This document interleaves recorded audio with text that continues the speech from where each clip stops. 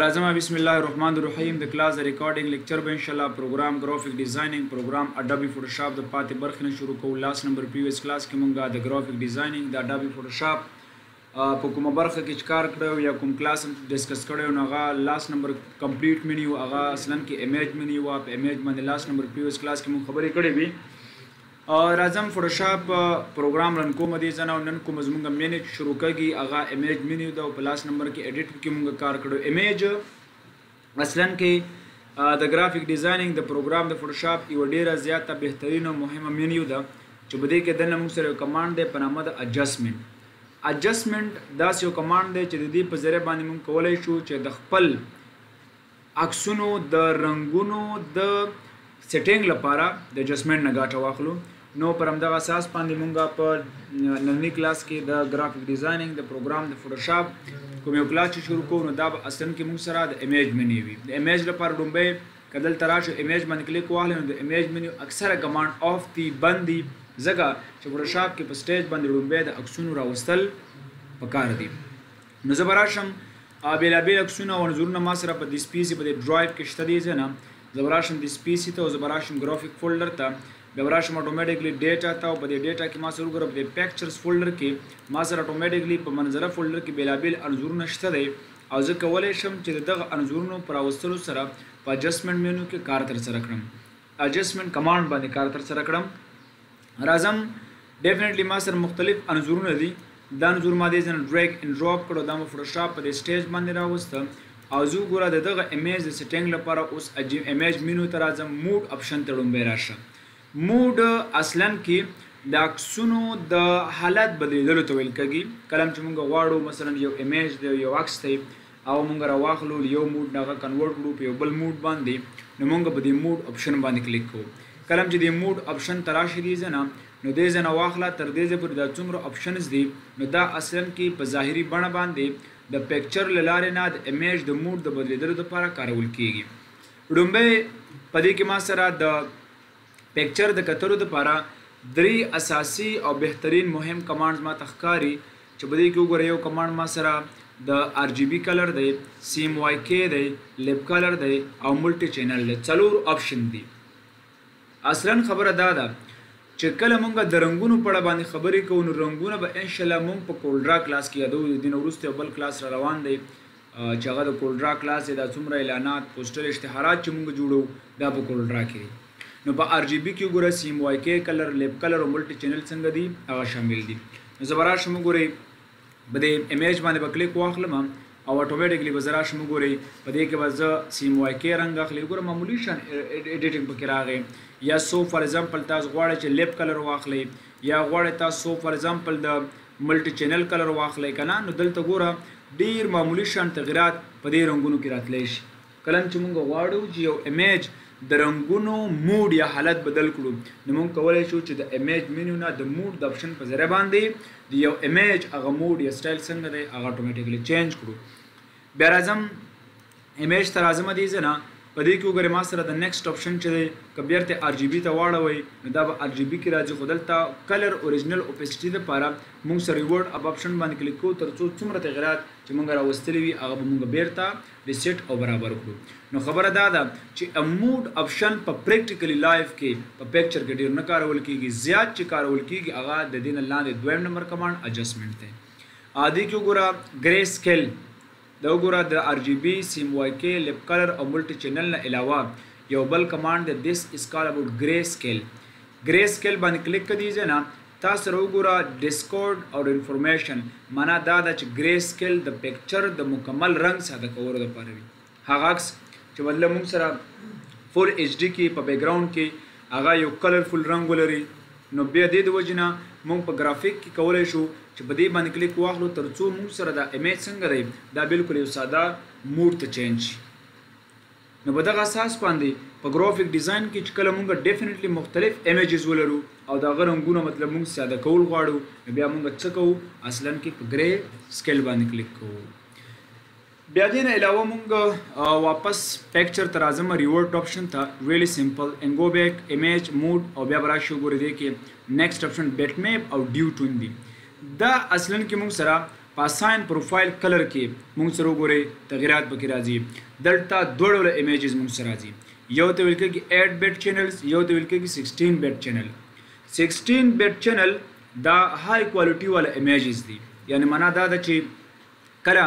په یو پکچر کې 8 بیټس وی یا 16 بیټس وی نو مطلب دا دی چې دلته به موږ سره امیج بیا په های کوالټي کې وي خو چې کله 16 بیټ ته ته امیج چینج کړي اکثره کمانډ پکې څنګه دی بند شي کار نه تر سره کوي د دې وجه نه نارمل پکچر باید په 2 بیټ باندې وي آفرین په دې کې ما سره وګوره ډیوټون یا بیټ میپ بیټ میپ اصل کې خپل د انځور یو ډول دی بیټ میپ په خپله د انځور یو ډول دی نو ګریسکیل، بیټ میپ، جی پی جی، پی این جی دا ټول د انځورونو چی دی بڼی او فارمیټونه دلته راشی دی ځنه دلته تاسو وګوری په دی کی ما سره یو نیکسټ اپشن راځی دیس از کال اباوټ کلر ټیبل کلر ټیبل مونږ سره فی الحال آف ته بند دی نو زبراشم وګوره دی کی یو کمانډ دی اساین پروفایل اساین پروفایل چې کله زه دا پکچر موډ دا اساین پروفایل ته واړوم کولای شم بیا د کلر ټیبل نه څه واخلم ګټه واخلم ګوره زه به راشم اساین پروفایل باندې کلیک واخله او دا اوکې کړه دا پکچر اوس ډایرک د اساین پروفایل موډ ته څنګه شو چینج شو زه به راشم امیج ته وګوره اساین پروفایل کلر مونږه اول دا پکچر مونږ ډایرک ار جی بي کې اډ بټ کې اساین پروفایل کلر دلته وګور پروفایل دا به کې کړی پروفایل ته چینج شو دی زنه را بش وګوره په دې کې موږ سره اوس انډیکس اف کلر دی ګوره اساین پروفایل نو ورسته انډیکس اف کلر تراشه دی زنه نو زه وراشم وګورئ په دې کې نیکسټ آپشن چې ما سره کوم دی نو دیس از کال اباوت اساین پروفایل کلر او کنورټ ټو پروفایل هم د دې باندې مطلب کار تر سره کولی شي بیا ما خبره دا و چې اساین پروفایل کلر نه بعد انډیکس اف کلر ته راشه دې کې وګوره د موډ اف مطلب پکچر هغه ته بدلولی شي وګوره دلته راشه یو موډ نه بل ته واړوه خو دلته وګورئ یوازې موږ سره یو څو موډز اکثرا دې باندې اف دي بند دي نو زه به د همدې لپاره امیج ته بیا راشم اجسټمنټ ته په دې کې به اساین پروفایل کلر کې زه رنګ ورته وګوره بدلولی شم وګوره داسې ډیزاین وګوره اساین پروفایل کلر کې رنګ ورته بدل کړه دې ځای نه نو دغه ډول باندې او پریویو ځکه ما ته راکوي چې لایف پریویو ته څه لګېدلی دی ټیک مار لګېدلی دی دینه بعد نیکسټ مونږ سره راځي اجسټمنټ اجسټمنټ په کمپیوټر کې ډیر زیات بهترین کمانډ دی دې ته ویل کېږي اجسټ یا اجسټمنټ بیلنس برابرول د رنګونو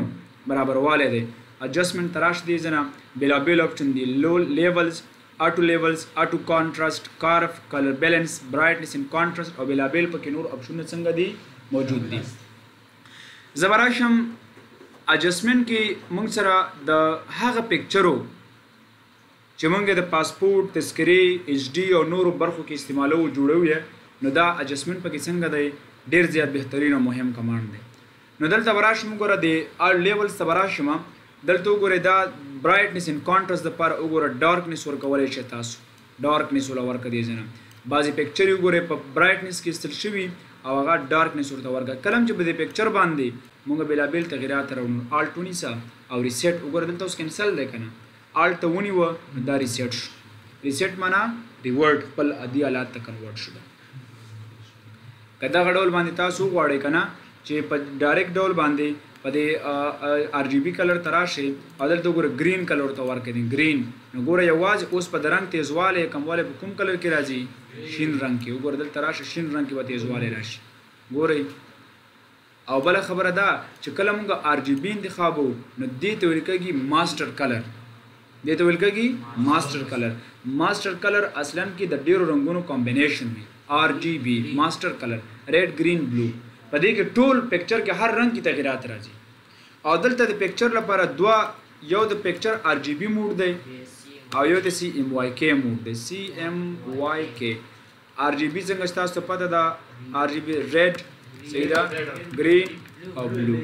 او سی ایم وای کې چې دی معنی د سیان صحیح ده مجنټا مجنټا او بیا پسې یلو او بل بلیک وګوره دا دی دا وګوره دا درې دانی مطلب وګوره سیان مجنټا یلو او بلیک او ار جی بی د عکسونو د فارمیټ لپاره یعنی زه به دا خبرو کړم چې هغه عکسونه هغه ډیزاینونه چې د موبایل سکرین او د فیسبوک لپاره یې ثبت کوئ که نه هغه باید په RGB کلر کې ثبت شي یعنې سکرین لپاره چې کوم یو ډیزاین مونږ جوړو هغه به یې RGB کې وي او چې کله مونږ یو غټه فلیکس چاپ کوو غټه لوحه جوړه کړو ډیزاین یې کړو بینر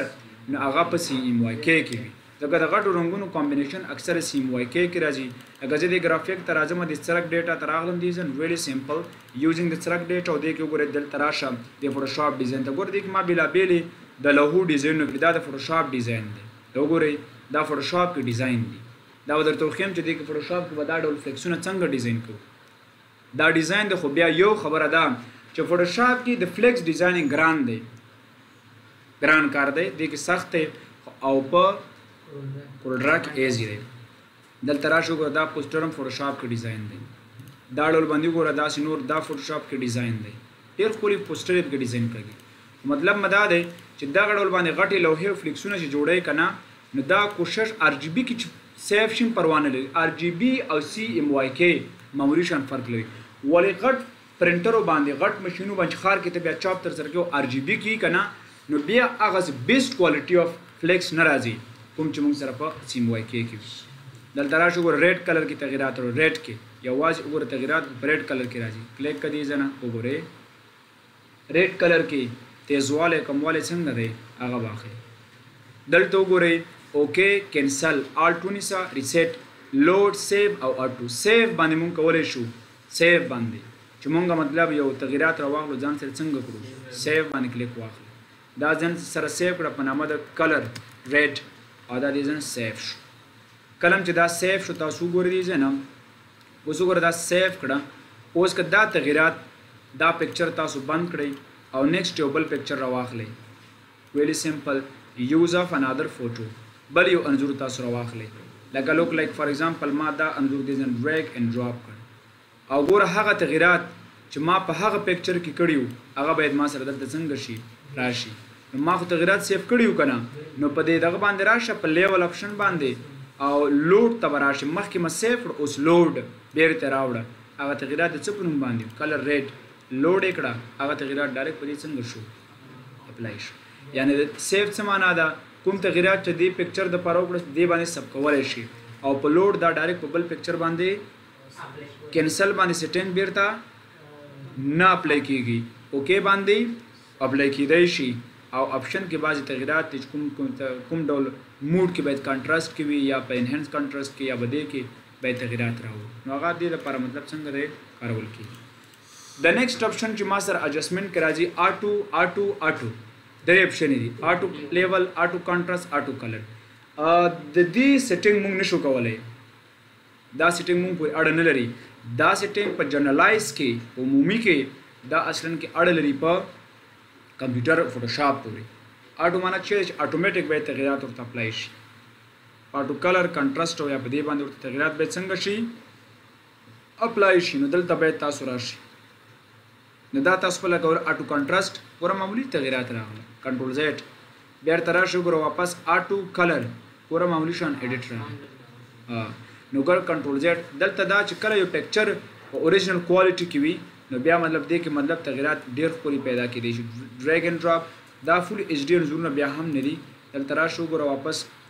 د امیج ته راشه اټو ته اټو کلر وګوره تغیرات پکې څنګه شو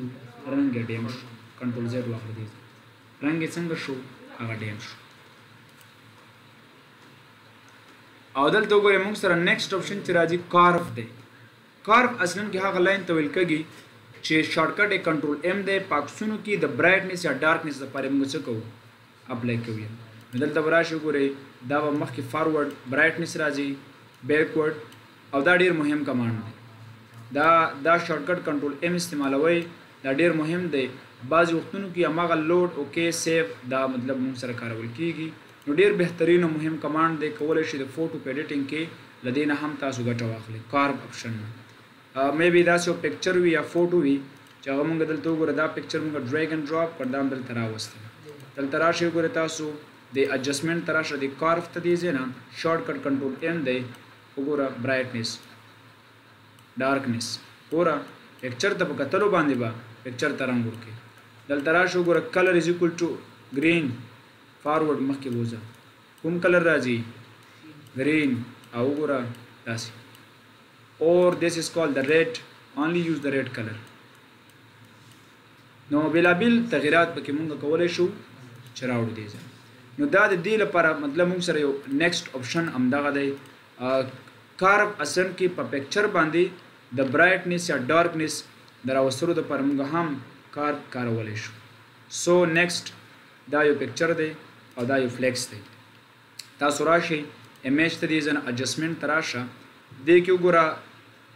کلر بیلنس دی کار نه لاندې شی دی کلر بیلنس د رنګونو تعدل دی وګورئ ګوري رنګ ګوره صفائی کا خو دا فل حال ما تاسو سره په خو دا پریکټیکلی لایف کې زه تاسو استعمالوم تاسو صحیح اوریجنل امیج درته ډیزاین کوم جوړوم درته او تاسو خیم چې د دې کلر اوپیسټی لیول با څنګه تاسو مطلب غواړئ چې مطلب زیات یا کم کړئ نو کلر اوپیسټي لیول هم موږ په دغه ډول باندې کولی شو چې یا زیات او یا کم کړو نو مطلب دا دی چې اجسټمنټ کې یوازې د کمانډونو اپشن سیټینګ دی دې کې ښکته ډاون ته خپل باندې کار وکړي تاسو به خپلم د تغیراتو پته ولګي چې مطلب په ګرافیک ډیزاین کې پروګرام فوټوشاپ کې موږ سره د کلرونو هغه بیلنس یا تغیرات څنګه ان شاء الله موږ کولای شو